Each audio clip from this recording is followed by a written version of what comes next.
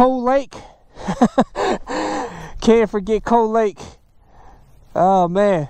Actually, this city gets its water from Cold Lake.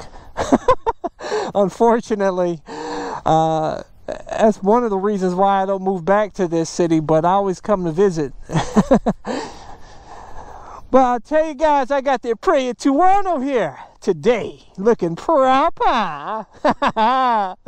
yeah.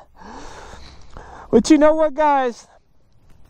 I'm going to tell you the smart modifications that you should do to your bike and why. Stay tuned. Let's go for a ride.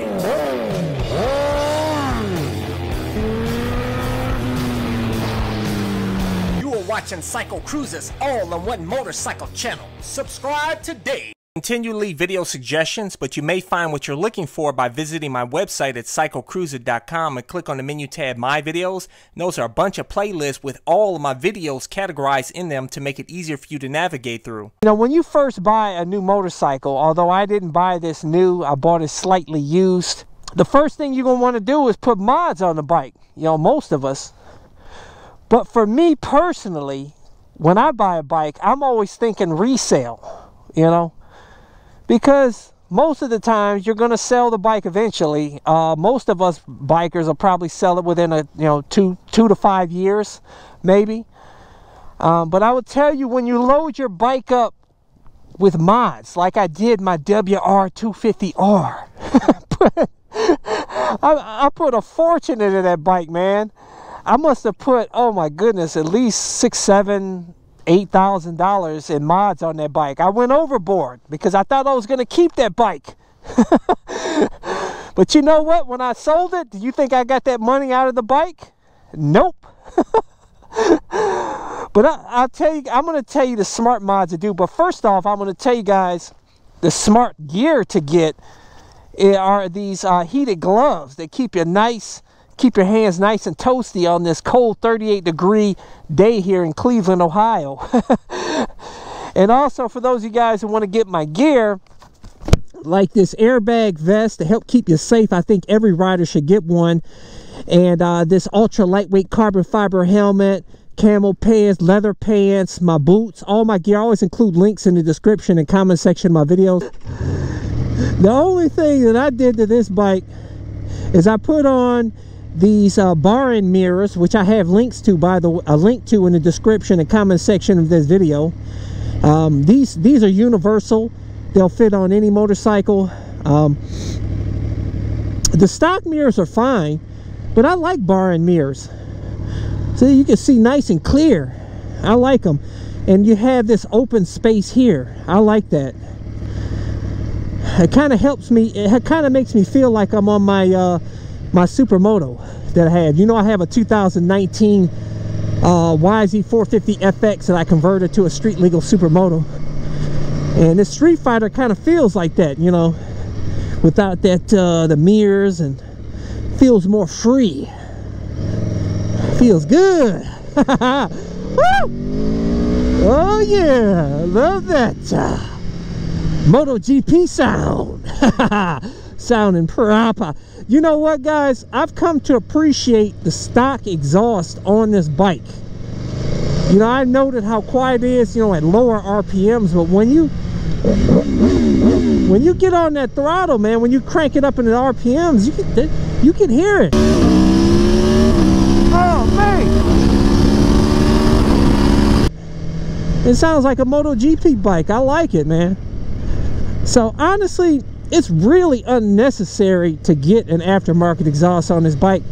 Uh, like I told you really the main reason why I didn't get one on this bike is because it costs like minimal $2,000 to put a slip on for this bike to have the dealer do it because you have to uh, change the ECU to a race ECU or you have to have it updated uh, to the race settings or you have to get an exhaust like the Akrapovic exhaust which has unlock codes. It, it's just very expensive to put a slip on on this bike. And when I go to sell it you know what? I'm not going to get that money out of the bike. I've seen guys out there that had this at Aprilia Tuono uh, for sale you know at the dealerships. And you know what guys? They put the uh, slip on exhaust on. But yet, the price didn't go up because nobody's going to want to pay extra for that slip-on exhaust. Uh, and then when you want to, you know, if you want to put the factory exhaust back on, then you got to go through the hassle of changing the ECU back to stock settings or put on the stock ECU. It's just a pain in the butt. So that's why, I, you know, didn't do it for this bike. And to be honest with you, these new bikes have all these electronics on it so it makes it more expensive to put you know a simple slip-on on that's why I like the older bikes like my CBR 1000 RR that I used to own that I recently sold. I wish I'd have kept it to be honest with you. That bike you could put a $300 slip on you're good you know? Yeah you're not going to get that money back but what $300 is not that big of a deal uh, to lose that you know when you sell the bike as opposed to you know, putting the slip on on this bike and losing $2,000. Forget that, man. But honestly, the smart mod to do to your bike is to do a fender eliminator kit, of course, to get rid of that ugly fender on the bike. Uh, and then I would, you know, keep the stock fender and then you can always put the stock fender back on and sell that uh, fender eliminator kit probably obviously not at full price but you can get some money back. And uh, a, exhaust a slip-on. Uh, as long as you don't have to pay $2,000 for it like I did with this bike. But those are the only two mods you need to do out here is, is fender eliminator kit and put on a slip-on exhaust for a sound. That's it. Don't waste your money on a full exhaust. Big waste of money guys uh, unless you're a track star out there and you need to squeeze out a little bit of extra power uh, even in that case it's not worth the all that money for a full exhaust. It's unnecessary man. Uh, and make sure you keep the box for your slip-on exhaust so that you can swap back to the uh, the stock exhaust. Um, but like I said the older bikes and some of the newer bikes that are basic and don't have all the electronics I think like the Kawasaki Z900 I don't think that has all the newfangled electronics on it. Some of these newer bikes you could put a slip-on on without having to do all this extra, you know, paying all this extra money for uh, ECU or changing the ECU or whatever. Uh, but to be honest with you guys, the smart mod is is to really not mod your bike. Just put a fender eliminator kit on it. Otherwise, I say make sure you get a motorcycle that has a lot of the stuff you want on it already in factory in factory setup. Uh, because you know like this a Aprilia Tuono V4 1100 factory the factory version of this it has an Öhlins suspension. So if you're a track junkie you're probably going to want that suspension. But if you're just like me and just crapping around out here on the streets it's unnecessary. But if you go with the RR version and then you want to upgrade to the Öhlins suspension because the uh, the basic suspension that's on the RR version is not cutting it at the track then it's going to cost you much more than the difference between the, the factory version and the RR version of this bike.